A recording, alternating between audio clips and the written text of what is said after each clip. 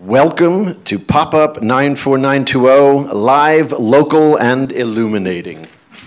Now, this is a new program for the uh, library, and our goal here is to uh, give you a chance to learn about some of the great people and resources we have in the community, and to celebrate some of our local heroes, many of them right here. Uh, tonight, we're going to try to keep it nice and fast paced and keep that pop up theme going. Okay, our first speaker is uh, well, let's just read this. Defying deference is the, uh, is the concept of her speech. Blye Faust is a partner and co founder of Rocklin Faust Productions, the Oscar winning producers of Spotlight. She has been named one of Variety's 10 producers to watch. She's a member of Producers Guild of America and board member of the Center for Investigative Reporting in Sunny Hills. So please put your hands together and welcome Ms. Blye Faust.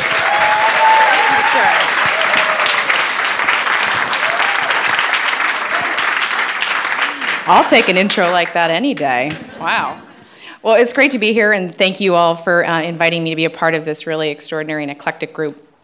Um, so, as I started to think uh, tonight about what I might say that would sort of encapsulate a global theme or element that sort of that transcended my very insular world of filmmaking, um, I kept coming back to one word um, and concept, and that is the idea of deference. Um, so let's discuss its idea in both my life and um, a great deal of others. So we can start with the definition of the actual word. Noun. One, a respectful submission or yielding to the judgment, opinion, will of another. Two, respectful or courteous regard. Now, I was raised to be a polite, courteous young woman, and um, while I don't think the word deference actually, you know, raised its head um, in direct conversations with those holding some sort of advisory capacity in my life, um, it was something that I had definitely internalized, whether rightfully or wrongfully. Um, and so, by the age of 25, based on a series of major, um, uh, a series of major decisions that I deferred to the advice of others you know, I found myself working as a lawyer at a large, uh, well-known law firm in Los Angeles, and I was utterly miserable. And I literally blurted out to my parents one night through this, you know, massive haze of tears, "How did I get here?" So nothing like deferring your way to the top, right? The good news for me is I wasn't alone. The bad news is is that I wasn't alone. Um, and it wouldn't really be until I'd had the spotlight experience under my belt for me to fully appreciate this. Um, and as I only know now, Spotlight is truly the ultimate study of the concept of deference and its devastating impact across countless lives. So let's go back to where it all began. Sorry, I thought I might have a podium to cheat, but apparently not. Um, so after far too many calls like the one you know just described, I finally decided that I'm going to take matters into my own hands for the first time in my life um, and stop looking to others to tell me like how I should spend my time on this earth. And I decide that I'm going to become a producer. Just don't ask me what the hell that means. So I eventually partnered up with my still current partner, Nicole Rocklin, and um, between the two of us, we have exactly six months of official industry experience between the two of us from um, her stint as an assistant at a production company, not exactly insiders us. So we solicit some advice. Um, people who knew the business um, told us that we should do high concept commercial fare, and so we just readily complied. Um, we you know, stumbled around chasing the same stuff that everybody else was chasing and managed to set up a few things here and there at studios, some commercial um, you know, comedies and some thrillers, but it really felt like a lot of spinning of wheels um, and without much direction or real satisfaction. But then comes along author David Misner. And David Misner has absolutely no Hollywood experience, but he tips us off to the Spotlight story. Um, he had written a piece in the Columbia Graduate School of Journalism. Sorry, he did a case study for the Columbia Graduate School of Journalism, which is not exactly a hotbed of Hollywood activity. Um, so we've got two young producers scrambling to keep their heads above water, um, now chasing a decidedly uncommercial project um, brought to us by a guy that absolutely no one has ever heard of. Right. Um, so undeterred, though, we then find our way to Boston and we meet with the journalists. Um, and they express that they can't believe anyone in their right minds uh, would ever possibly be interested in telling their story as a movie. They literally think we're nuts. um, but they grant their blessings, and somehow, thankfully, we forget to defer, um, and we ignore them, and we carry on. Um, we obtain their rights, and we start shopping the story around um, to various writers, directors, producers, and agents, but the response is definitely um, not altogether encouraging. We have the, you know, we get the, the book through us. You'll need to create a love story, a fictional storyline to pump up the thriller aspect. Ensembles are just too hard, and you'll never, and you'll need to be, combine characters. No one wants to see a story about kids getting hurt. Um, but we eventually pair up with Tom McCarthy, who has never directed a movie for a studio, um, and Josh Singer, who has spent most of his, TV, his career writing for TV. Um, the guys dive in behind the story, and they spend countless weeks, months, um, you know, interviewing the reporters and the survivors and other influential characters to the story um, in this really labyrinthian tale. And we have literally a mountain of information at our disposal. And the big question becomes what does it all mean? What is the story behind the story um, that we want to try and tell through all of this? And we really struggle to pull out what is the essence of our story. But eventually, that little word raises its head deference. Deference by members of the clergy, deference by parishioners, deference by members of society at large, deference by the globe um, to one of its own institutional brethren, and deference by all to a legal system that had always done things in the way that they had. So let's take a look at this clip from the movie, which I think really sums all of this up. Did everyone read Eileen McNamara's column this weekend? That's the Geoghan case? Yeah. What's the follow on that? It, it's a column. What kind of follow are you thinking? Uh, well, apparently, this priest molested kids in six different parishes over the last 30 years, and the attorney for the victims, Mr. Uh, Garabedian. Thanks, Eileen. Mr. Garabedian says Cardinal Law found out about it 15 years ago and did nothing. Yeah, I think that attorney's a bit of a crank, and the church dismissed the claim. He said, she said. Whether Mr. Garabedian is a crank or not, he says he has documents that prove the Cardinal knew. Uh, as I understand it, those documents are under seal. Okay, but the fact remains a Boston priest abused 80 kids. We have a lawyer who says he can prove Law knew about it, and we've written all of uh, two stories in the last six months. This strikes me as an essential story to a local paper. I think at the very least, uh, we have to go after those documents. How would you like to do that? Well, uh, I don't know what the laws are here, but in Florida, we would go to court. You want to sue the church? Technically, we wouldn't sue the church. We'd file a motion to lift the seal on those documents. The church will read that as us suing them. So will everybody else. Good to know. So that was all it took, literally. I mean, the first day on the job, and Miami transplant Marty Baron, um, later described in the film as an unmarried man of the Jewish faith who hates baseball, um, comes in and asks a simple question that no one else had thought to ask because they just assumed that it was the way that it had to be because it was the way that it had always been. So, coming back full circle, I found myself asking, how do we avoid the deference trap in our lives and others? And I went back to the word itself and uh, wondered what antonyms for it might look like, and I found the following that, when handled appropriately, resonate noncompliance, contrariness, rebelliousness, defiance. And as I looked at these words more carefully, I thought about our journey and thought about our journey with Spotlight um, and beyond. I realized that these are outsider words. Words that could be used to describe any number of us involved in Spotlight, from the members of the real story to the members of our team who made the film possible. And so I would like to posit to all of us that we actually make an effort to be outsiders in our own lives from time to time.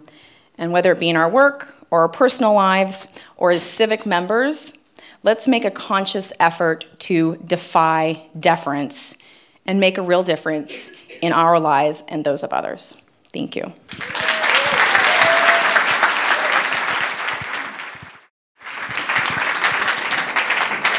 Okay, moving right along, our next speaker is going to be speaking on something she's calling What Your Face Might Say About You.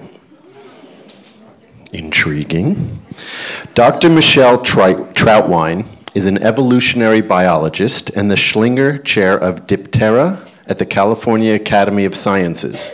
She's an entomologist whose research interests lie in the continued discovery and understanding of the evolution and diversification of flies and other arthropods that live in association with humans. Please welcome Dr. Michelle Trautwein.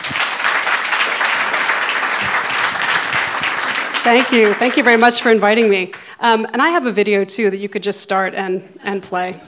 Um, so I study face mites, and my research on human face mites was really born out of basically this unbelievable reality that we all have arachnids living on our bodies. So, I mean, can you imagine that right now you're not the only animal using your face? It's just, it's unbelievable. It's unbelievable to think about. So I call them face mites but the truth is, they live all over our bodies. So they could equally be called ear mites or nipple mites or genital mites, just to let the shock settle in a little bit. Um, and what's crazy is that they live in our bodies, and so you'd assume we know a lot about them. But the truth is, we know very, very little about them, and that really gets me excited as a scientist. So what we do know about them, let me give you a little, a little uh, primer. So they're in the genus Demodex, which is a genus of microscopic mites that live in the skin of mammals. So we're not alone in having these mites, they're part of our mammalian heritage.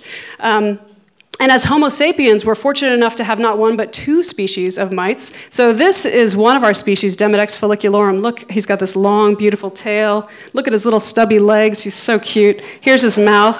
He's really, he's handsome. He's a gorgeous creature. Um, and then Demodex folliculorum has a short, stocky cousin named Demodex brevis. And both of these mites live in microhabitats, separate microhabitats in our pores.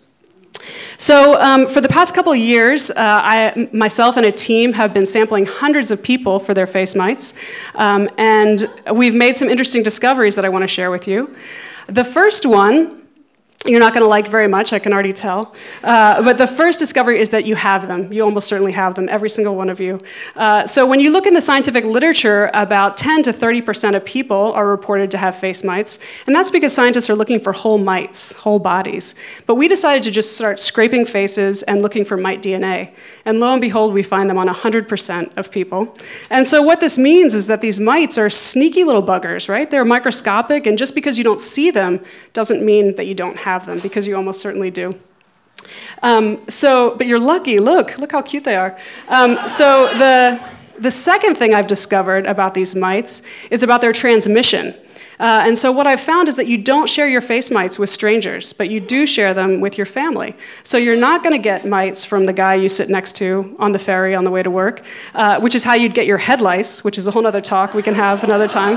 Um, and what we find is that these mites are actually transmitted primarily from parent to offspring. And that means they're incredible markers of heredity, kind of like your own DNA. So that leads me to my third discovery, which is my very favorite discovery so far. And that's that these mites, they aren't just parasites on your body, they're actually these incredible storytellers. And by studying the genetic evolution and the diversity of these mites, we can learn more about our own ancient history and our migration, our ancient migration around the world. So I'm just at the beginning of this phase of my research, but what I've discovered is that Demodex evolution reflects human evolution.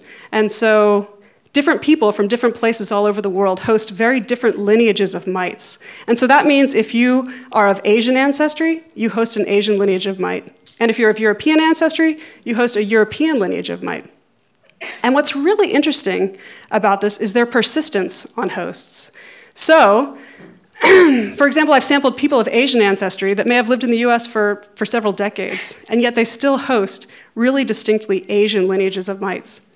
Even more amazing, when I sample African Americans, I find that they very often still host a very distinct African lineage of mites, even if their family has been living in the US for generation on generation and generation. So, by sampling your face mites, I can tell you something about your ancestry. So I'm sampling people from all over the world uh, to get this incredible picture of this global human diversity to sort of grasp at what fine scale resolution can these mites retell us our own stories about our ancient migration.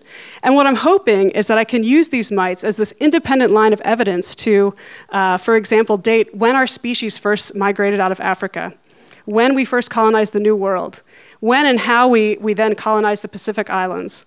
So it's a really incredibly exciting system, especially for me as an entomologist. Um, and so I don't want you to think about your, I don't want you to begrudge the fact that you have these face mites, right? I want you instead to think about them as these incredible creatures that are actually full of mysteries and secrets that are yet to be revealed. and I want to leave you with one final thought, which is that for me, this face mite research really brings me back to my seventh grade science class. Uh, this is way before I ever imagined I would be a scientist. And I remember sitting and you know, memorizing facts, thinking that all the cool stuff had really already been discovered. You know, all the really interesting things had already been found out. But the truth is, and I want you to go home and tell this to your little budding scientists at home, the truth is we have so much to learn and so much to discover about the species that live all around us, right? Even the ones that are right under our nose or in our nose. so thank you very much for your attention. Dr. Michelle Trautwein. thank you. All right, our next speaker is uh, entitling her speech, Code, Debugging the Gender Gap. Robin Hauser is the director and producer of Code, Debugging the Gender Gap, a feature documentary about female and minority computer science engineers. Previously, she directed and produced the documentary Running for Jim, about the inspiring story of high school running coach Jim Tracy. Please welcome Robin Hauser. Thank you, Adam. All right, 500,000. That is the number of unfilled computer science related jobs in the United States right now. Unfilled. By the year 2020, there will be over 1 million. Um, the reason is because we're missing half the population. We're missing women and we're missing people of color. Less than 18% of the population that works in computer science in the United States are women, and less than 10% are people of color. This is the face of tech.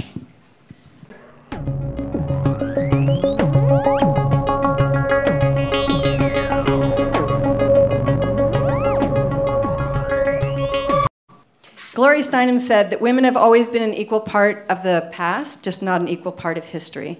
And never is this more true than in technology. Ada Lovelace should be a household name. She actually wrote the first algorithm. She worked with Charles Babbage on the analytical engine. Most people don't know who she is. Grace Hopper, Admiral Grace Hopper, actually wrote the first computer science programming um, language. She came up with the idea of programming languages. Um, she also coined the term debugged when she was working on the Harvard Mark I, and she found a moth in the vacuum tube and had to clean the moth out and therefore debugged the machine and it started working again. Interesting fact is that in the mid 80s, there were actually more women in computer science than there are now. And if you look closely, you'll see that in the year 2000, there were more women than there are now. So, how can this be? I think one of the major culprits is stereotype, the, the stereotype of a programmer. Most people, when they think about a programmer, think about a hoodied guy, dude, in his mid 20s, sitting in the basement, antisocial, drinking Red Bull, and eating stale pizza. Not very enticing for a young woman. The second major culprit is the educational pipeline. We don't teach computer science in our schools. This is scary to me. For most kids, the first time you can take a computer science class is when you're a junior in high school. And yet, look at the numbers in 2012 of how many kids signed up for the advanced placement computer science class 0.7%. And out of that 0.7%, only 15% were women and 8% were students of color. So, what that means is then when you get to college, less than 12%, so 57% of college graduates are women, and less than 12% of the computer scientists that are awarded degrees are women. Sexist workplace. In the sexist workplace, it's unbelievable egregious. This is probably one of the hardest things for me to understand when I was making this documentary. These are products of baby boomers, right? If the average age is 25 in tech right now, how can they be sexist? And yet, the sexist workplace culture is real. So, what do we need to do to solve this problem to fill the jobs if we don't want to just fill them with foreigners, which is what we're doing right now? We need to recruit more female role models. We need to, to change the stereotype of a coder. We need to make computer science mandatory in schools, and we need to integrate it into all the classrooms. You'll find teachers that say, well, what are we going to do? You know, Get rid of ancient European history?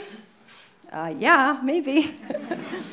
but what we need to do is incorporate it into the schools. There's no reason you can't write a string of code that analyzes how many frogs had disformed livers when you're dissecting them in fifth grade, right? There's no reason that you can't write a string of, of code that tells you exactly how many times history has repeated itself in history class. It can be incorporated into all the classrooms. And we need to disrupt sexist workplace culture.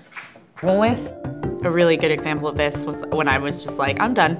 I walked downstairs and there's just like a line of dudes sitting back on this bench and watching two girls hula hoop. I get it, like I understand what's happening here, but it looks like a strip club and it's making me uncomfortable. But imagine that that's the case. You go to work. I grew up, my first job was in banking. So imagine going to work where there's a keg on tap, where there's a, you know, a bar, where there's all this sort of people come in and leave at any time of day. And then this is going down when you're trying to work. And if you're one of very few women, if you're one of two in a group of 35 programmers, it's uncomfortable. And so women don't stay in the business very long. There will be 1.4 million jobs by 2020 in the computing related fields. Less than 29% of them are going to be filled by Americans, and less than 3% of that 29% are going to be women.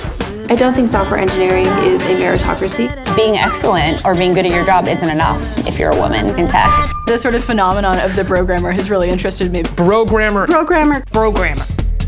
It's hard to encourage more women to come into an environment that will sexually harass them and not fund them. As soon as a woman gets introduced, it's like blood in the water. When companies started putting these full diversity disclosure reports out there, it became very obvious, wow, there really is a problem.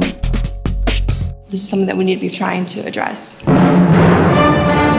Women were the pioneer programmers. They've been written out of history, unfortunately. Grace Hopper came up with the concept of real programming languages. Ha, coding's magic. I coding because instead of us being consumers, we could be like a producer. In the same way that everyone should know a little bit about law and everyone should know a little bit about economics, you probably should know a little bit about computer science. Growing up, I was actually a, a system kid. I didn't know that I could learn how to code like so quickly. The reason that there's a gap is actually related to some really real structural factors. Girls aren't encouraged to pursue computer science. They're overlooked because, you know, it's the boys that are good at science and it's the boys that are taking apart computers at age nine. Most students have no exposure to programming. Computer science should be a requirement in all public schools. This is a Rosie the Riveter moment because the jobs are here and we don't have the workers to fill them. For the digital revolution to truly be great, it can't just be for a certain set of people. I'm hopeful because I think that the tech industry could move the fastest. If we see the problem, we can debug it. This is our country, our cities, our communities, our children, our code. Code. Debugging the gender gap. Thank you very much.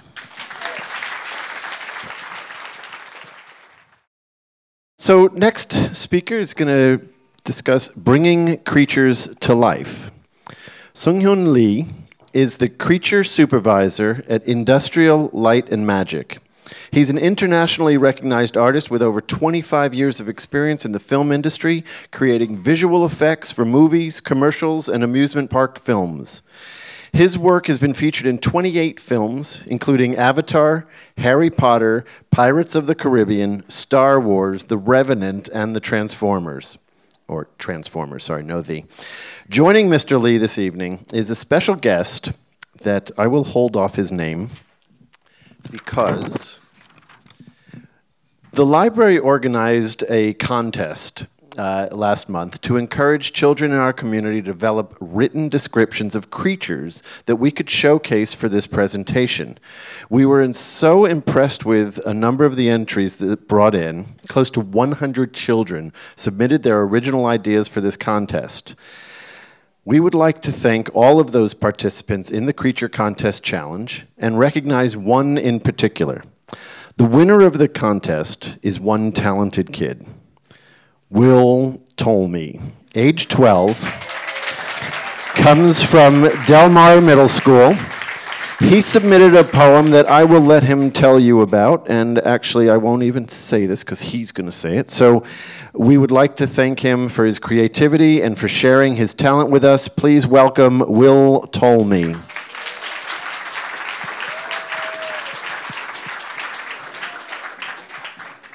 Thank you so much. Um, so, I'm going to read my poem, and it's called uh, which means helper in Latin. Fun fact. Um, so I'll start. Somewhere in the night grows a creature of sea foam and fame. One eye in the darkness, eight arms in the light, but only two legs to its name.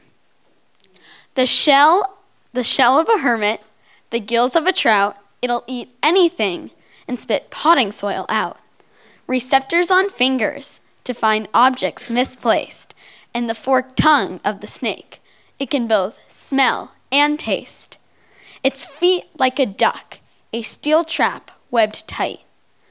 But its ears microscopic, using echolocation in the night. The tail dances softly with a hard rattling beat, and its spikes shoot out fumes that cool you down in heat. Its hair can turn red with devotion, like a kindled fire burning bright, and change with each emotion, like purple with fright. It may seem malignant and fueled by pure greed, but it helps everyone and fulfills every need.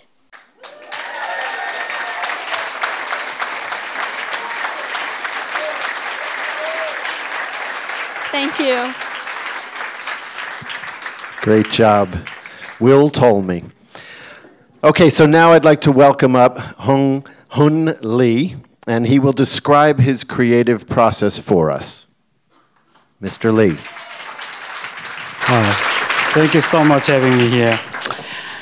Tolmie give me a really hard homework.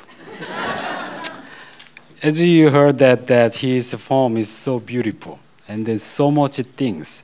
So I have an ability, if someone says something, I can draw and I can make a visual. That's my job. So that's why I got a creature supervisor. So maybe Dr. Michelle maybe hire me. So you're creature, so I'm the creature supervisor. So, so you know, when I got the, his poem, I keep thinking about how can I visualize about his text to some kind of creatures. So how does a creative process begin? For me, the creative process started with the imagining the story first. The story means he gave me the all the like a text or the uh, context everything, but I have to make a story first. That is the giving its life. So First, he, the creature has a really scary, as he expressed, and then mm, helps to people. He loves to help people, but it's really unmatching. You know, scary but helps people. So how can I solve that problem? So I gotta keep thinking about this situation, and then I gotta appoint point to that how I create it. So I keep thinking about also why writer writing this way, why writer wrote like created this creature. So he knows uh, about the creature is love of the people. So I kind of make the point that is uh, he's lonely, scary, but helps. Mean it's kind of isolate place first, and then he have the hiding and also it's really hard to find him. But also, the goal have to be like a finding his soulmate or some kind of friend. That's the creature. So that's the, my first place to starting drawing. So this is a kind of idea sketch. I sketch a lot of things, a quick drawing, like a suburb drawing, like a really nine pencil drawing. And then finally I got this one. It's kind of to me, it makes sense. Oh, maybe this story might be little match to the his poem. after that, I research it because it, all the drawing is uh, like a black and white uh, sketch, but I have to find. I have an image in my mind, but I cannot find what's the right things. So I keep looking the all the papers, website, and then finding the image that close to my mind. That is kind of my image. So this one is kind of really close without creature, but it's kind of what I'm looking for.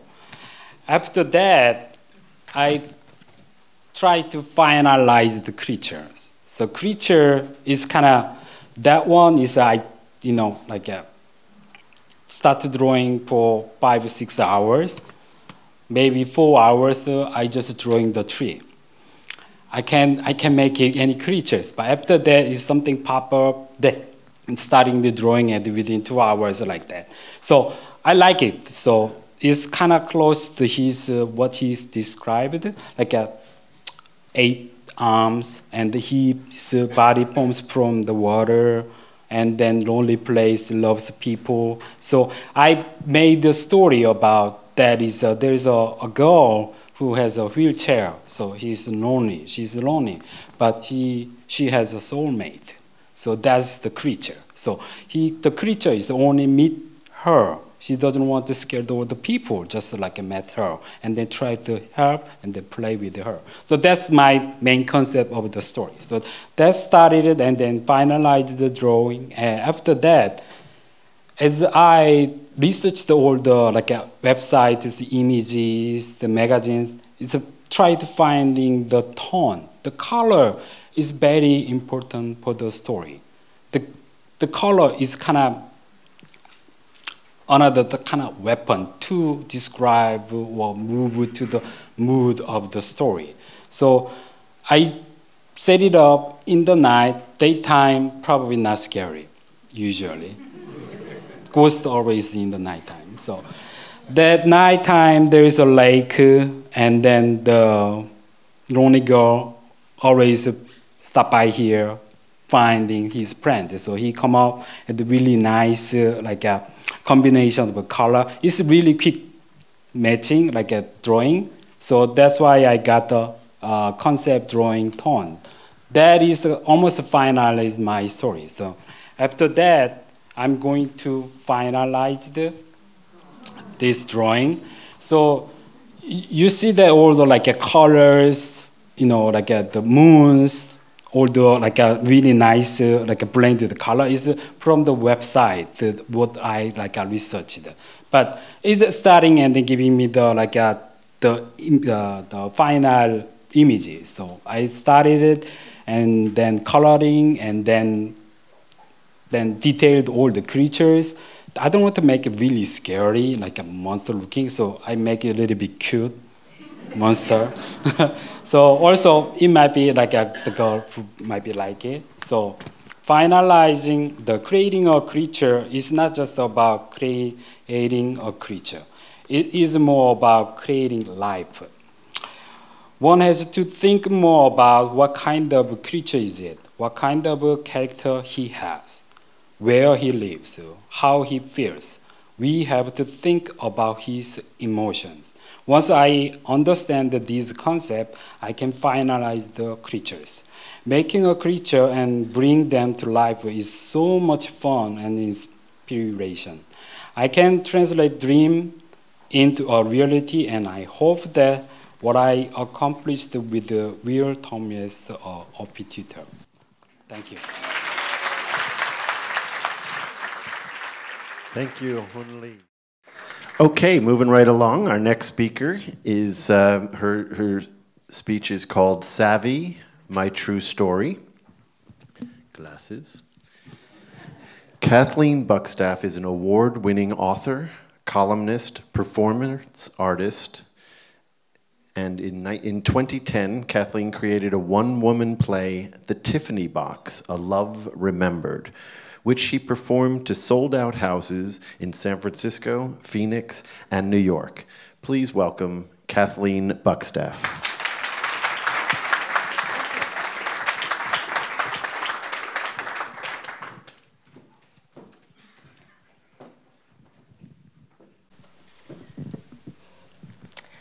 I'm currently working on a book called Savvy My True Story it's a collection of letters I've written to a teenage girl about my own experience at a New England prep school.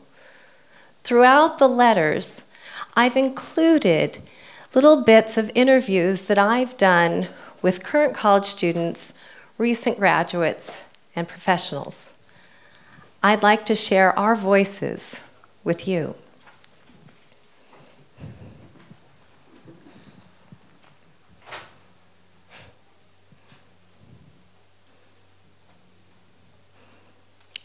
Dear reader, at the prep school graduation ceremony that spring, the senior hockey players held trophies above their heads, and they were presented with varsity letters to sew on their jackets. These young men were the pride of the school. Many would be attending Ivy League colleges in the fall, and teachers posed to have their pictures taken with them. After the ceremony, the seniors left to attend parties while the underclassmen stayed on campus to study and take final exams. The day after graduation, our dorm head, Ms. Pike, called Liesel, Annie, and me into her apartment. We were 16. We didn't know why we were being summoned. And then Miss Pike began questioning us about the midnight pool party.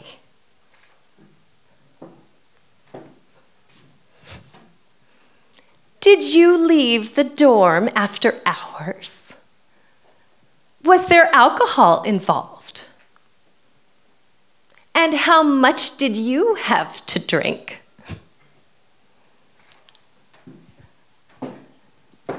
Deborah, age 22. When people ask how much did she have to drink, they blame the woman and they neglect to hold accountable the perpetrator of the crime. Three months had passed since the senior hockey players used a master key to the school to enter our room. I didn't understand why Miss Pike had waited until after they graduated to begin her interrogation. Junior hockey players who had been in the shower room that night were still on campus, and they were never questioned.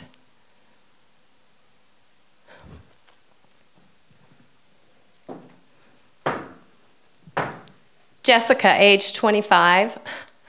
Whoever's making the school a lot of money, like star athletes, the school will turn a blind eye and do their best to push it under the rug. After several hours of questioning, Ms. Pike decided the three of us needed to be severely punished. One week later, she presented her case to the faculty at the year end meeting. I was later told they considered expelling us, but decided instead to place us on general probation. This meant if we broke one more rule during our remaining time, we would be kicked out of school.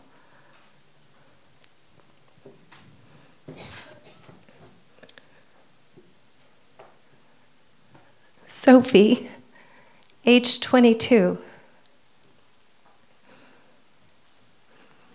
People in authority handled everything horribly. What the school did to me was worse than what happened.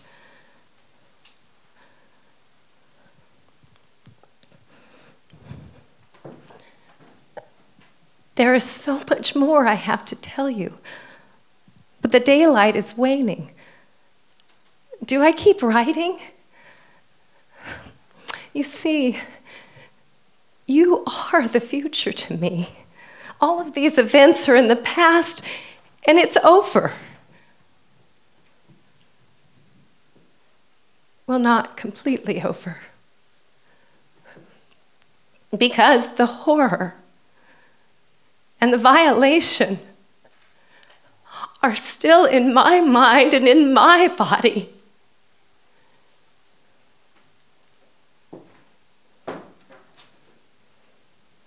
Professor of Law, Catharine MacKinnon. This past isn't over. It is all still here. And there will be no end to it until it is changed. Until there is truth, there can be no reconciliation. All of this denial of responsibility by perpetrators and institutions is what's keeping this past alive.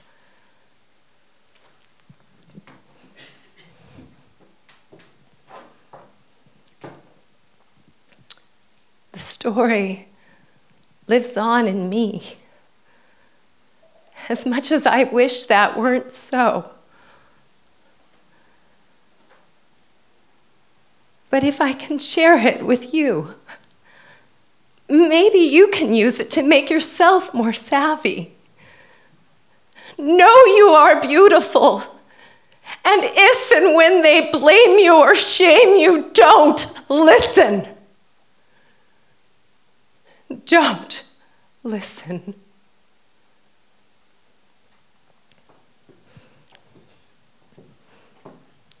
Sophie, age 22. At our core, we tend to blame ourselves because society has told us it's our fault. I push back against self blame every chance I get because it's at the root of so many problems.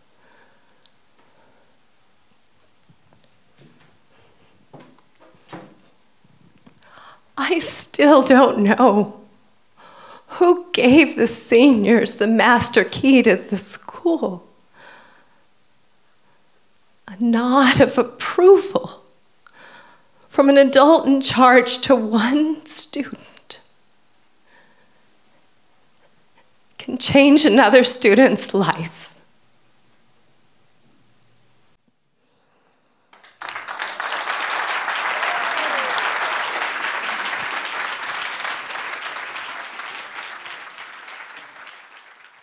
So now we're going to bring a group of uh, folks up here, and uh, they're going to talk about something called the blockchain. Gary Cookhorn has spent half his career in the investment world, currently with Fortress Investment Group. Among other things, he's served as a divisional CFO at the United Nations and as head of loan services at the World Bank.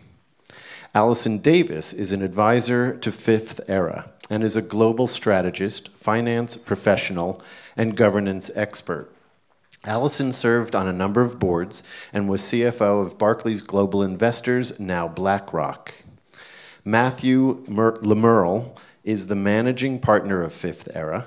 He is an expert on digitization and technology transformations. He's advised governments and leading companies on technology related issues. Prior to Fifth Era, he was a partner in Booz and Company, leading their West Coast communications, media, and technology practice. Please welcome Gary Cookhorn, Allison Davis, and Matthew Le Merle.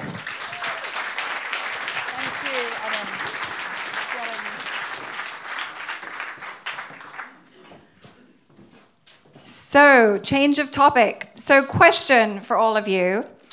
If you think of the world's most valuable companies, Exxon, Walmart, like big global companies, how many of the top five most valuable companies are West Coast based technology companies? Show of hands. Who thinks one? Who thinks two? Quite a few of you. Who thinks three? Another group. Who thinks four? Who thinks five?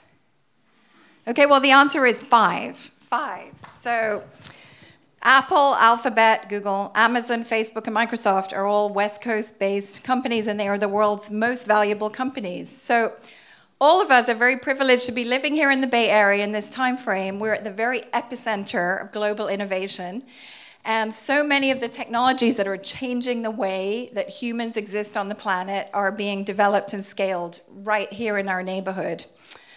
Um, financial services, which we're going to talk about next, is the biggest industry in the US. It's the top three industry globally, and it affects all of us. And one of the most exciting breakthroughs in the um, since the internet in financial services, and arguably even in the um, last you know 50 years, is the development of blockchain technology. So that's what we're going to talk about tonight. In 2008, the mysterious figure, no one still knows who he is, called Satoshi Nakamoto, it could even be several people, wrote this breakthrough white paper on Bitcoin and the blockchain, which solved this problem of how you transfer value, not just data, digitally on the internet. So if I have $3 here, I could give uh, three people a dollar. Here, come take it, come take your dollar and it would be clear that I no longer had the dollar and you have the dollar. But on the internet, you can't do that. If I send you a photograph, I still have the photograph, you have the photograph. Who owns the photograph? Um, so anyway, this was the big breakthrough. You should all read the white paper. It's very short. It's like you know a few pages long. So we're gonna, the three of us are all investors in blockchain technologies, and we're gonna try and give you a quick burst on why we are all so excited about it. So to get started, uh, Gary, in very simple layman terms, what is blockchain technology and how does it relate to Bitcoin? Thank you. Uh, so, um, blockchain technology, um, as Alison uh, intimated, is a relatively new, uh, potentially powerfully disruptive technology that can disintermediate the need for us to use a trusted third party um, third party, like banks, for example. Um, and when Satoshi Nakamoto came out with his paper, he referred to this distributed public secure ledger, which is a, a, lot of words I know, but distributed basically anyone can have one, public, anyone can, can see it. Um, secure, it's backed by very strong cryptography, um, and it's a, it's a ledger. It's basically a database. And one of the ways to think about it is just know, its simplest form, Excel spreadsheet, two columns. One column describes you as an ID. It's some random looking string of uh, alphanumerics. And the other column will represent an item of value, number one, number two, any number that there is. And only you have the power to change what's in that cell. And you can pass this Excel spreadsheet, if you like, around the world. And it's kept in sync by a bunch of different computers and miners and no one has the power to change that what's in that cell but you yourself. So um, essentially, that is what um, uh, the blockchain is, and it relates to Bitcoin because Bitcoin rides on that that blockchain, um, and you, you know, it, it, one way to, to, think about it is that you know, uh, rock, silver, gold, salt copper, nickel, paper, they've all been used as money in the past. Uh, and today we're starting to use this technology as a digital way to move money around.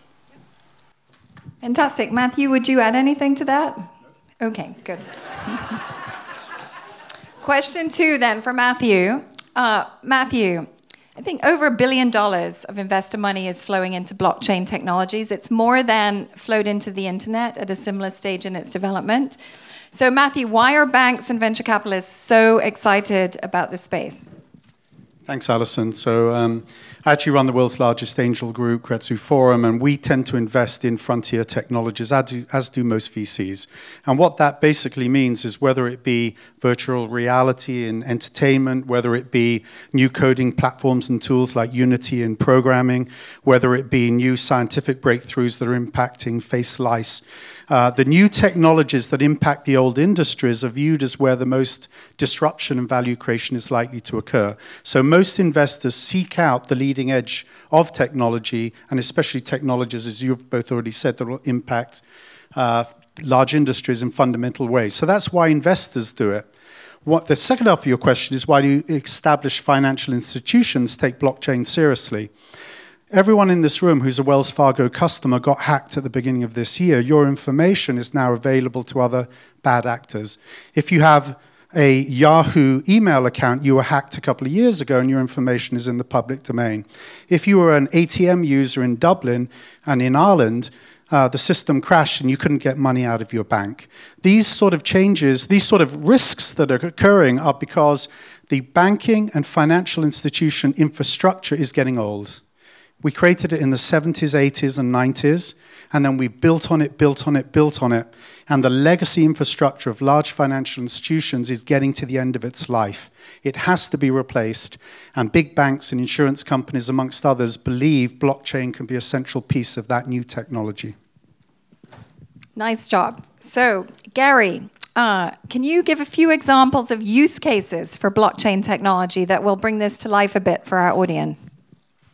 Uh, sure. So, probably the uh, best and biggest example of use of blockchain technology is Bitcoin itself. Um, and inside that area, there is a subset called remittances, which uh, shows a lot of potential for use of blockchain technology. And remittances, for those who don't know, it's when you know someone sends usually relatively small amounts of money to you know back to their family and I don't know wherever in the world it, it may be. Today, that industry is dominated by MoneyGram, Western Union, etc. It's a large uh, industry, um, probably what five, six hundred billion a year um, of money flows through that industry, and the fee that these intermediaries take on each transaction is often ten percent or, or more. Bitcoin has the potential to revolutionize that and do it fast, cheap, and in a very secure way. But there are many other examples. Um, uh, there are other digital currencies, for example, Ripple, Ethereum, Litecoin, etc. There are also fiat currencies, what we refer to as you know, dollar bills, etc., that some governments have thought about putting on the blockchain. Um, notaries uh, may be disintermediated in the future because simply if you have a trusted intermediary, you don't need a notary to notarize uh, certain facts. There are so many others. Um, the stock exchanges and the settlements process is, is one. Um, uh, vehicle registration, uh, land titles, um, voting. Why do you need to fill out all that paperwork and then go to a room to do it when in the future you may be able to use blockchain technology to vote? I just want to uh, double down on one of your examples, which is home titles. Um, I had a very painful experience. I'm sure many of you did have too. We wanted to do some work in our garden here in Tiburon. I went down to get the permit. They told me I needed to know was my title clear, were there any rights of way or passages or other things that would stop me doing the work in my garden. I said, I don't know. How would I find out? They say, go to um, the Civic Center, pay some money, and they'll do a search you go, you pay the money, they go behind, they come back with a big wodge of printouts, half of which are illegible. You say, where did those come from? They looked at microfiche. So you sort of say, really? You had to look at microfiche to figure out what my title looks like? You have to pay a lot of money for this process. It's not just that they haven't digitized it, it's that as the title got created and annotated, it wasn't continuously updated. The distributed ledger of blockchain means that every change to a title would be automatically updated, always available in real time, anywhere, anyhow, by anyone. And that's the sort of thing we're trying to move towards. We don't need the people to search here in Tiburon, and we certainly don't need the people at the Civic Center to go to microfiche. Thank you, Matthew. So, in wrapping up, um, do you each want to give a few thoughts into how the world might be different in 10 years' time as a result of blockchain technology? Gary. um, sure. So, um, you know, we're very early in the evolution of, of blockchain, and many people liken it to the internet when it started. It took many years before there was a, a Google, um, Yahoo, Netflix, etc. And we're, we're just at the beginning of that hockey curve uh, today. Looking down the road, um, I'd imagine that a lot of the things that I just mentioned will we will be doing electronically, um, not looking at microfiches, but you know basically going online in order to assure we have title to a certain property. Uh, voting, for example, I'd imagine that we will be doing that electronically in the future. Uh, vehicle registration, all of those things, I think will will come to pass. And since, for the purposes of tonight, Gary's greed and I'm fear, I'm going to give you the bad side. So, in the absence of new technologies that can cope with this legacy infrastructure problem in financial services globally, I think in 10 years' time, not only do we have a lot more hacks, our information is insecure, bad agents have access to our capital and allow and are able to, to extract it from us in all sorts of creative ways, but even more fundamentally, bad actors can close down the payment system of America or other countries, and we, we can be held uh, hostage to essentially cyber terrorism. I give that as an example, but the fundamental need is for us to have much smarter technologies to support the digital economy, and the digital economy is certainly our future.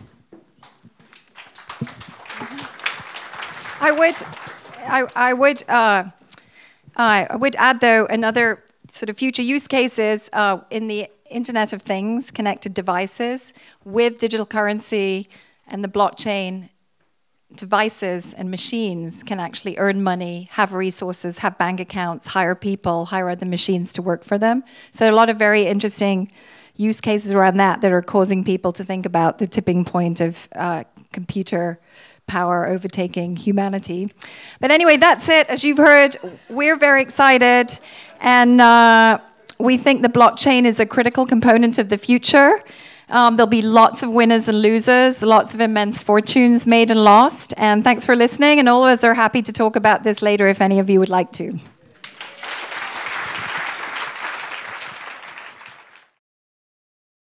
Next up, Not Alone, a documentary feature.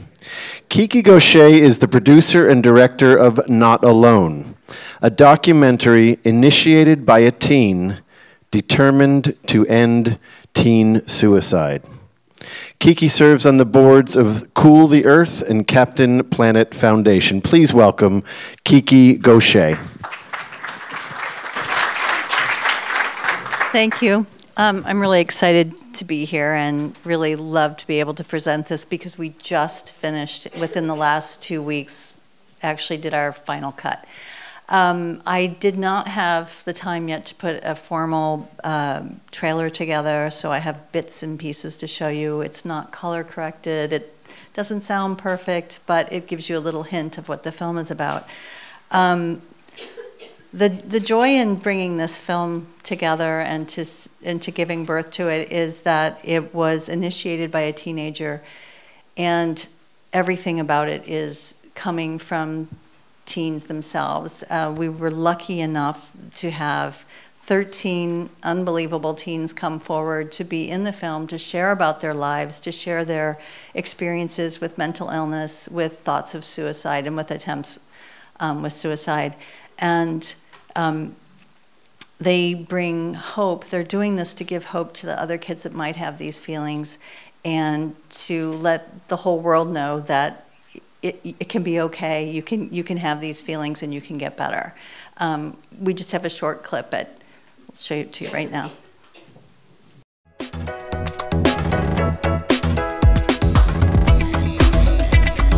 We all have this persona we put it up on Facebook, on Instagram. We're smiling, laughing in every shot. We're doing this, we're going here, hanging out with these people and our lives look perfect.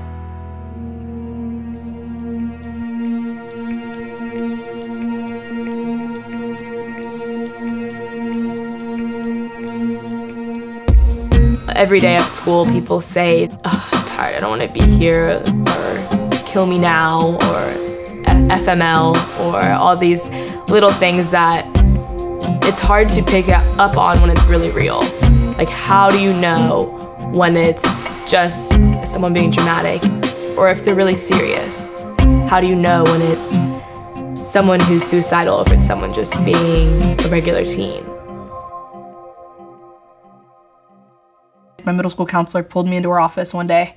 She was like, Lauren, I'm worried about you. And I was like, oh, what's wrong? And she's like, someone's afraid that you're to kill yourself. And I was like, what? Like, that's crazy. But really, I was like, oh shit. I was scared because I was actually to commit suicide that week.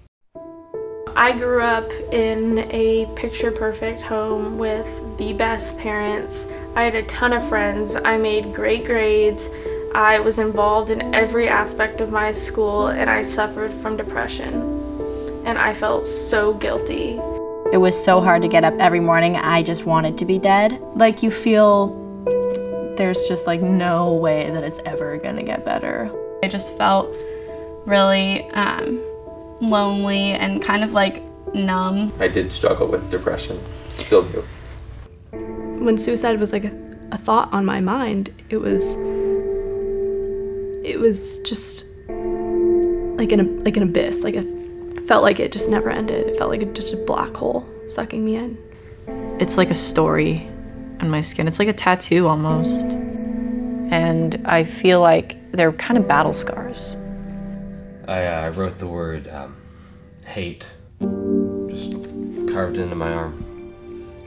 Is there something that you wanted?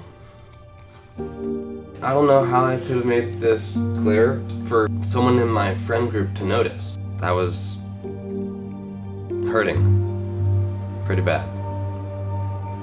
You know, I was like, whoa, I almost died. You know, I was, I almost wa- wasn't here. The last time that I attempted suicide was A month, one month ago. I started thinking about my parents and I started thinking about you and this video.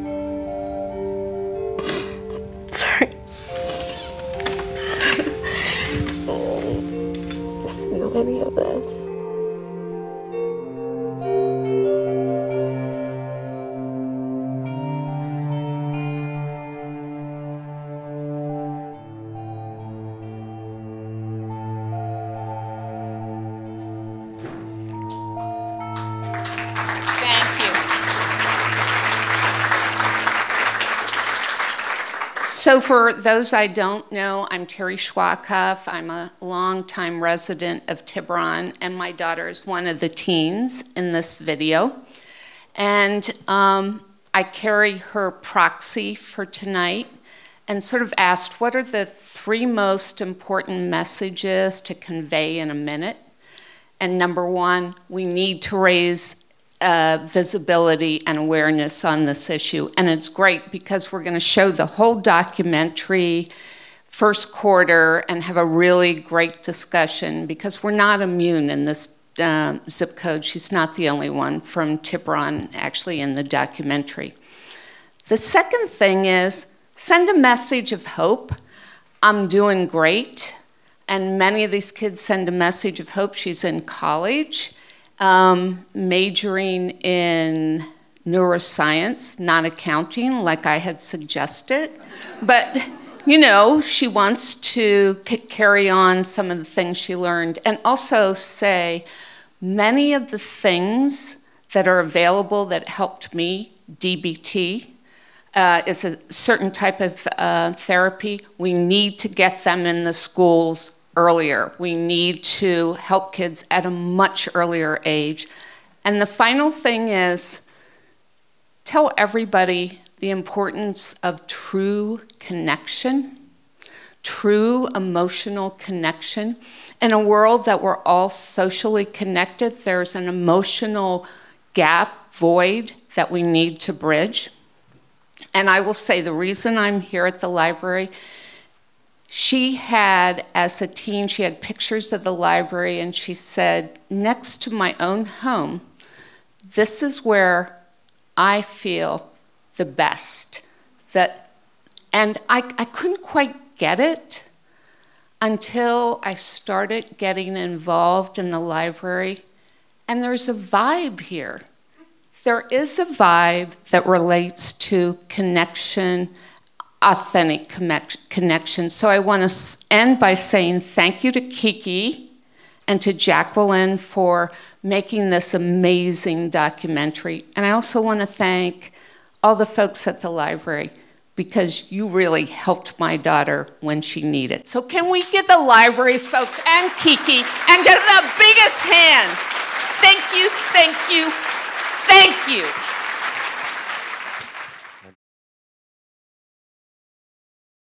Five myths threatening our environmental future.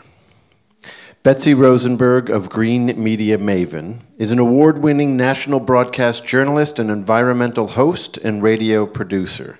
She is a keen observer of how climate change and other ecological issues are covered by mainstream news outlets, or not, as the case may be. Betsy has dedicated her career to being a communications conduit between eco innovators and the public. Please welcome Betsy Rosenberg. Thank you.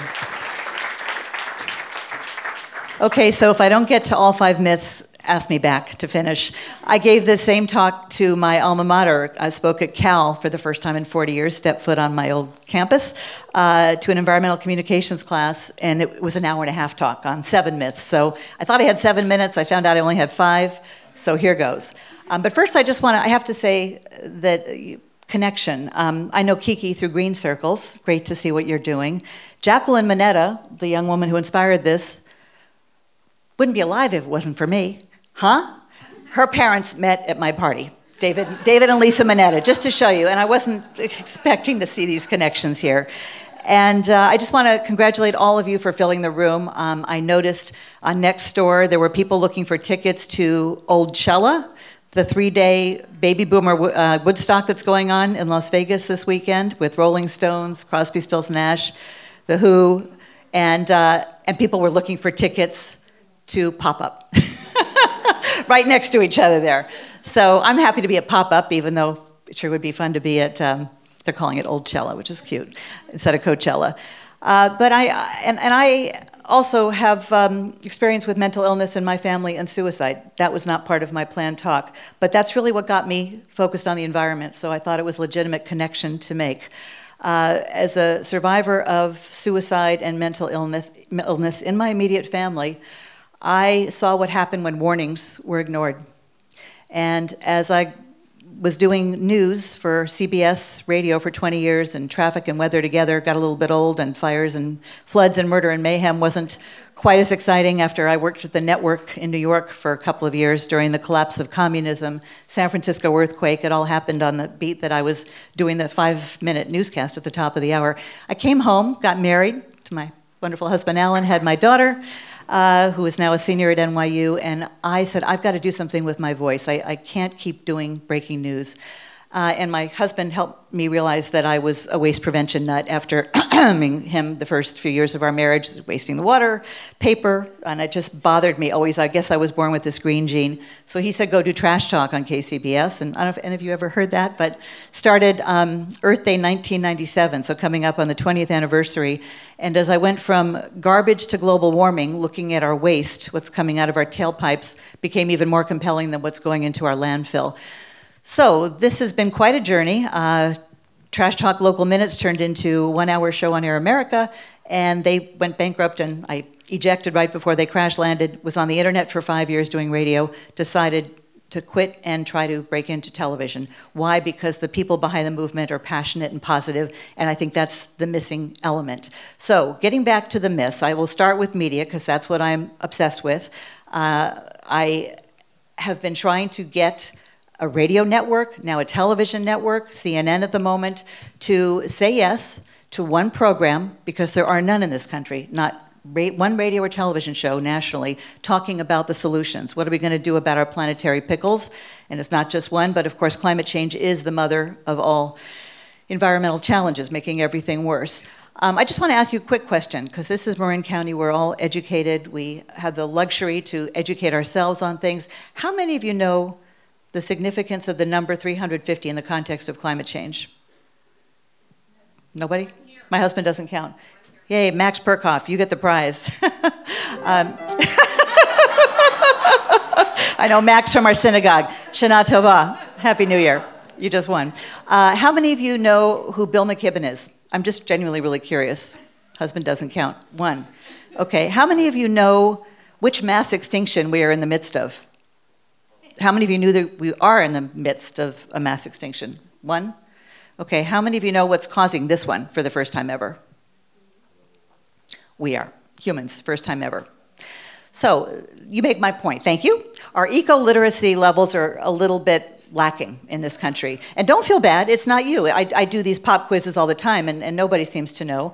Um, and so the first problem, the, the myth is that Americans know what's going on environmentally, and we really don't. And how, why should we? How can we? I didn't grow up having environmental studies. Yes, they're teaching it now in college and some high schools. But what about we baby boomers who are going to live to 100, 110, right? We have many days, years, choices, consumer choices, voting choices ahead of us, what we drive, what we eat, what we build. We need to educate ourselves quickly because that leads me to the second myth that we have plenty of time to solve these problems. How many of you know how many years we have to cap our emissions at a point that will keep us to two degrees warming this century. Any of you heard warnings from climate scientists? They've been saying we have two to five years, and they've been saying that for four years. Um, we don't have time. We need to wake up and smell the carbon. As I say, we need to get off our gases. We need to really connect the green dots. We are heading for a climate cliff. The number 350 came from Bill McKibben, who is sort of the, the recent Al Gore. He's an author, teacher from Middlebury, Vermont, who became the climate activist for this current era. And he started an organization, I encourage you all to check it out, 350.org. 350 million parts per million is the safe level, according to climate scientists, experts in their field, whom I think we should listen to, uh, is the safe level. And, and anybody know where we are now? Okay, thank you. 407 parts per million, million. We are sailing past 400.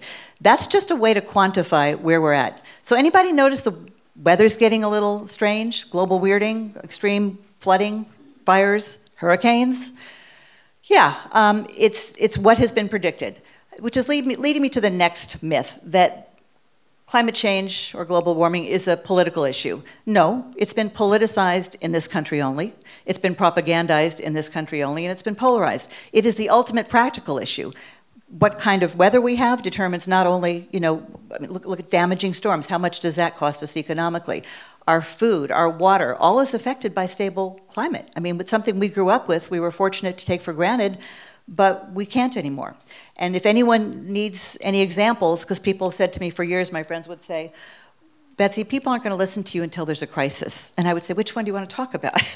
and, and they're out there. But our media, which leads me to the third myth, um, is not covering it adequately. Not only do we not, uh, getting back to my obsession myth, the, the media, not only do we not have any programs, Yes, CNN is starting to mention climate change, although I've been watching round the clock since Hurricane Matthew hit, and not yet. I'm waiting for them to mention it. They talk about this weather, they talk about the storm, the wind.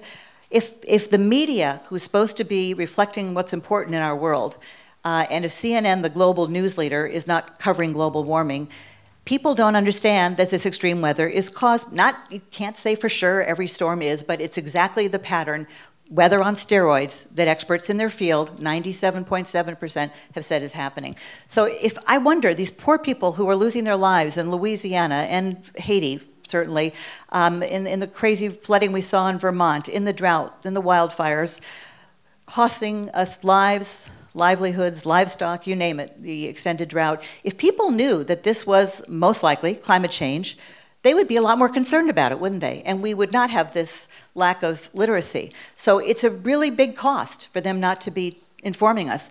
And that leads me to the next myth, which is well, whose responsibility is it anyway? Um, I think the media has a role, but when I've asked people in the media, they say, no, that's up to Sierra Club and Greenpeace to educate Americans. It's not up to us. Well, guess what? If you belong to one of those organizations, and there's many wonderful ones, uh, Earthjustice, Union of Concerned Scientists, NRDC, you get a newsletter and you get informed on all these issues. But guess who joins environmental groups?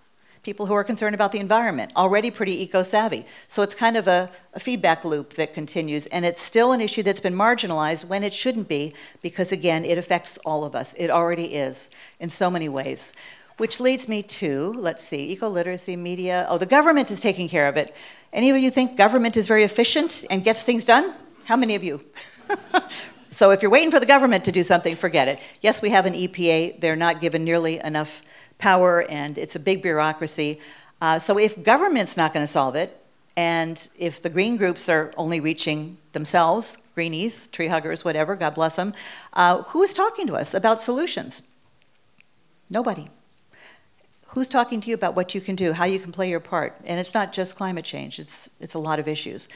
Uh, nobody. So uh, there is a gap there, and I'm trying to fill that green gap. And uh, there are tons of solutions. That's the good news. I'm not sure if I hit all five. You'll have to just have me back if you want to hear the other two. And if you want to hear the solutions, I promise you there are more than I could fit into a five minute talk. And uh, come up and ask me, and I'll tell you where you can find out about a lot more. I've got 5,000 of my shows archived on my website. Thank you very much. It's a pleasure to be here in my hometown.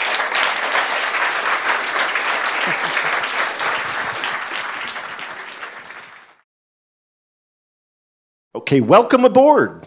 Captain Maggie McDonough, McDonough, McDonough, is a fourth generation captain, owner, operator of the Angel, uh, Angel Island Tiburon Ferry Company.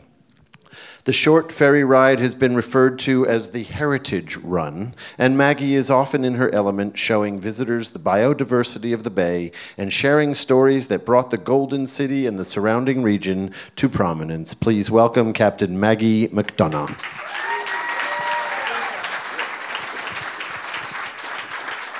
Thank you, everybody. I see a lot of friends and a lot of ferry boat riders. Just to be clear, I do not own and operate the blue and gold fleet. Just in case anybody was a little confused, um, we are the last family owned and operated ferry boat company that I know of in the Bay Area, if not California and beyond.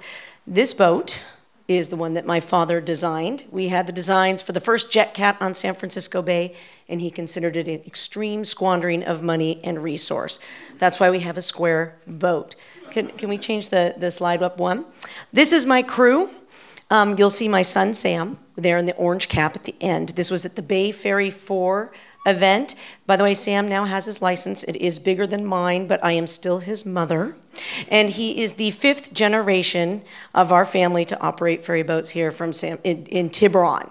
My great grandfather, by the way, came in with the railroad, but preceding that, if you drive up to Petaluma, just where it narrows there, do you see that little island, that little lump of land off to the right? That's McDonough Island.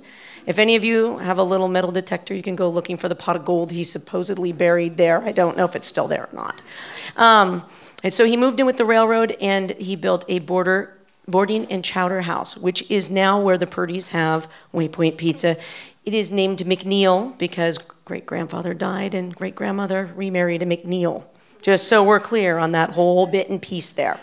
They had seven children. My grandfather was Sam McDonough II, and he started a skiff business. And I'll show you a slide about that in a minute. But just to go back to this, this was so great. Bay Ferry 4.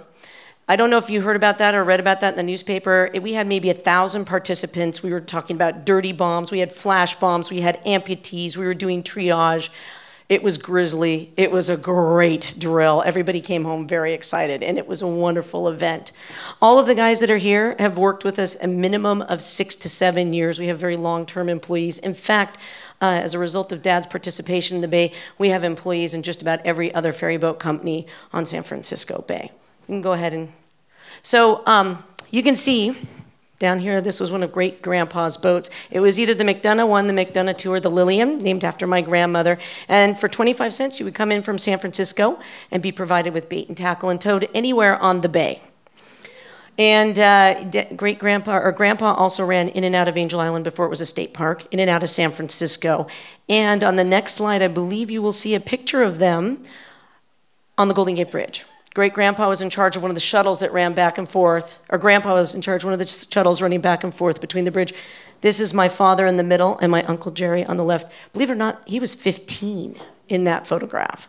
And he wanted to run that skiff. My dad, oh my goodness, grandpa wouldn't let him. He said it was too dangerous. And at 92, six months before he passed away, he goes, All right, he was right. I'm all, Really? All these years? Really? So we ran back and forth between there. And um, that's Dad, for those of you that know Milt or knew him. And that was our first boat. That was the Gayson, named after Gail and Cindy McDonough, his nieces. And it was an old Navy launch that he and Uncle Jerry fixed. And he started running the boat only on weekends to Angel Island once the military uh, demilitarized the island and it became a state park. Back in 59, by the way, my godfather, Uncle Charlie, ran the tram over there and it was a John Deere tractor pulling railroad cars from the railroad in Tiburon. But dad got tired of changing the roofing nails out of the tires, so he decided to move that along, and, and now it's out of the family. Uh, that boat was decommissioned probably in the 80s. That's the inside of the Gaysim. And now you can see the Angel Island as she was brought down the river. By the way, that was Kelly Green. And if you look back in the records of this town, you will see there are many a meeting discussing the color of that ferry. The town was a little displeased, and they're actually kind of lucky. It was almost seafoam green. It was just that the paint was on sale. And he brought that down, he brought that down the Sacramento River with an outboard engine on the back. Okay, my mother was driving. She didn't forgive him for that one or dropping the 671 Detroit diesel on her favorite rose bush. Those two things, 43 years of marriage, I think they're doing pretty good. Um, Dad ran that boat. Now, when we first put, had the boat, everything was military from auction. Two 671 diesels, three buttons on each side, a toggle switch. And he ran that boat every single day. He did not retire until he was 86 years of age, by the way. And then he called me every single day until he was he passed at 92. The, the interesting thing you should know about Dad is he had a long history. He worked for PG&E. He worked in the Delta. If you're familiar with the name Dutra, that was his first mate. He was a dredgeman. He was a fire boatman. He was a tugboatman. And during World War II, he would take the tugboats with the barges filled with airplanes in blackout in and out of the Oakland Alameda Channel. He also laid the shafts during and the Liberty ships down at Hunters Point. So he was very accomplished. Now, we know this place. This is one of my favorite places. I go there every day, and sometimes I go there and decide to turn around, and then I go back, and it just. Uh, it, I love, but it is. It, it, I consider Angel Island truly one of the most marvelous places on San Francisco Bay. It's the glorious, quiet older sister to Alcatraz's flashy younger sister, right?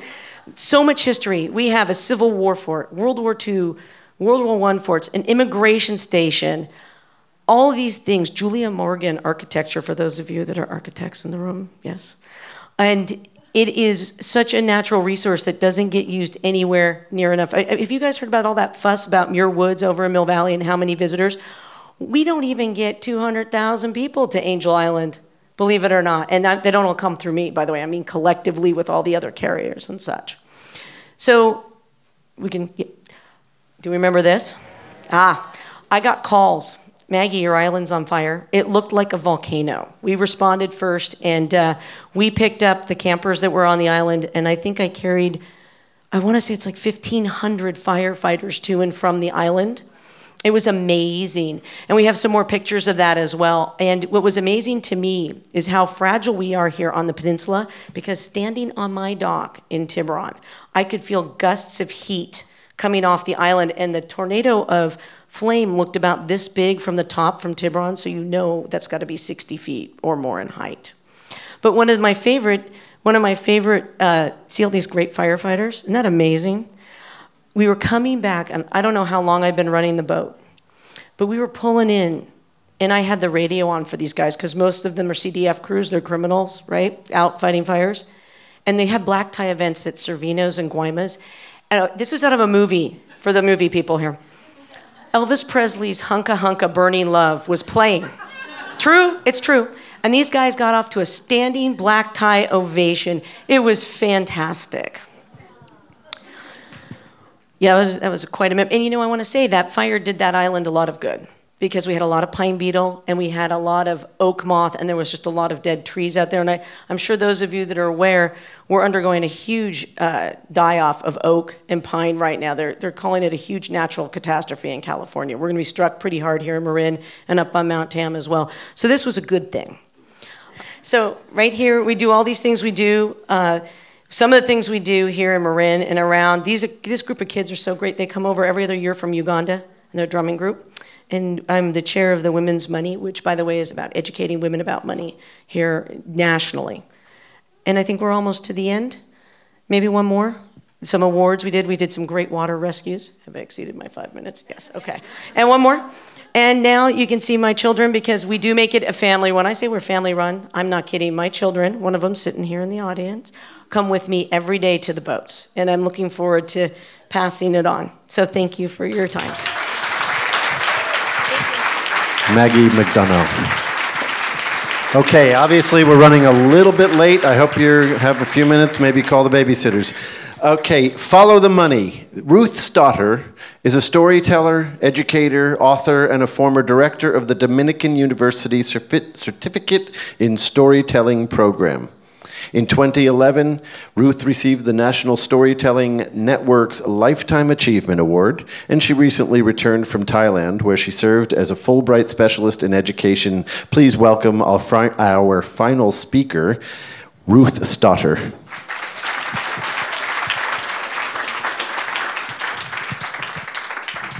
Thank you, Adam, and thank you all you other pop-ups that I really enjoyed very much, and thank you all for coming here this evening. I want to tell you about Charlie McCormick. Charlie was a cowboy. He worked on a ranch about four miles northeast of Santa Rosa. And one fine autumn day in 1909, Charlie was riding into Santa Rosa to take care of some business. And his first stop, as always, was the stable. And as always, Charlie was there. Today he was pitching hay into the stalls. Well, Charlie, nice to see you here today. And, and old licorice, come here, old licorice. Shorty's got something for you. And Shorty pulled a carrot out of the burlap bag that was tied to his belt. Charlie jumped down off the horse and said, Shorty, I brought you something. And he pulled out from his money clip a hundred dollar bill. He'd won it in a poker game in Sacramento two nights before. Oh, Charlie, you, you sure you want to give me that? Oh, thank you, Charlie. Thank you, thank you. But Charlie had already left. He wanted to get to Diana's Cafe for the blue plate special. Well, Shorty took off old Licorice's bridle and saddle, gave him some water, some hay, and then Shorty left, heading for Henderson's general goods store. And Mr. Henderson was standing behind the counter, his ledger book spread out in front of him. Well, Shorty, what brings you here today? Oh, Mr. Henderson, I've been running up such a bill with you, and I wanted to make a payment. And Shorty gave Mr. Henderson the $100 bill. Ooh, Shorty uh, just about covers everything you owe. Tell you what, I'm going to take your name right off my ledger. We're even, Stephen. You don't owe me a dime. Thank you, Mr. Henderson. Thank you. As soon as Shorty left, Mr. Henderson wrote a note back in 10 minutes, put it on the door, and went down the street, turned the corner, and stopped in front of a gray house with a sign in the window Ida May, dressmaker. And Ida May was sitting on a rocking chair on the front porch. Oh, Mr. Henderson, how was the wedding? Oh, Ida May, that wedding gown you made Chloe, well, she looked like an angel in it. I wanted to come by and pay you for all the things you made for the wedding. And Mr. Henderson gave Ida May the $100 bill. Oh, thank you, Mr. Henderson. See you at church on Sunday. That you will, Ida May. As soon as Mr. Henderson turned the corner, Ida May went down the street over to Railroad Avenue to Jake's workshop. Jake made violins, and they must have been pretty good because folks came all the way from Los Angeles to get his instruments. Well, Ida May, I hope the twins didn't get in a fight and break the violins I made them. No, no, I just came to pay you for the violins and all the lessons you've been giving them. And Ida May gave Jake the hundred. Well, thank you, Ida May. You're welcome. As soon as Ida May left, Jake put on his Stetson, went on down the street to Mike's lumber yard, and Mike was out in front putting wood into the cart out in front. Whoa, is that you, Jake? You can't be back already. I got you that wood just last month. Mighty fine wood, too. I love that maple. I just came to pay you for it. And Jake gave Mike the. Well, thank you, Jake. As soon as Jake left, Mike went inside and he tidied himself up and he went on down the street to Pete's butcher shop. And Pete was behind the counter. Oh, nice to see you, Mike. How was the barbecue? Oh, that barbecue sauce you sent over. That was delicious. Well, you know, when the folks were gone, there wasn't even a piece of pork or beef left. Good to hear. So, what brings you here? Well, oh, I just wanted to pay you for all the meat and the bill. And he gave Pete the. Thank you, Mike. I'll walk you to the door. And that's how it happened that Pete was standing in the doorway when Charlie came riding by on old licorice down the dirt road on his way out of town. Hey, Charlie, Charlie. Whoa, what is it, Pete? Well, remember that tip you gave me about that widow woman in Napa selling her horses? I bought all six, sold four, kept two, made a big profit, and I want to give you a percentage. Oh, you don't have to do that. Oh, but I want to. And Pete gave Charlie. Thank you, Pete. And Charlie rode on out of town, past the Miller farm, past the bridge over the creek, and stopped to laugh. He recognized that $100 bill. He knew it was the one he had given Shorty that morning. He recognized it as the $100 bill he had won in the poker game in Sacramento a few nights back. And when Sam Hall had handed him that $100 bill, he had recognized instantly that this $100 bill was a counterfeit. now, this is a true story. And if you don't believe me, you can give me a dollar. Thank you. Ruth Stoddard. Thank you. Okay, we've come to the end of our evening, and I just uh, let's have another round of applause for all of our wonderful speakers.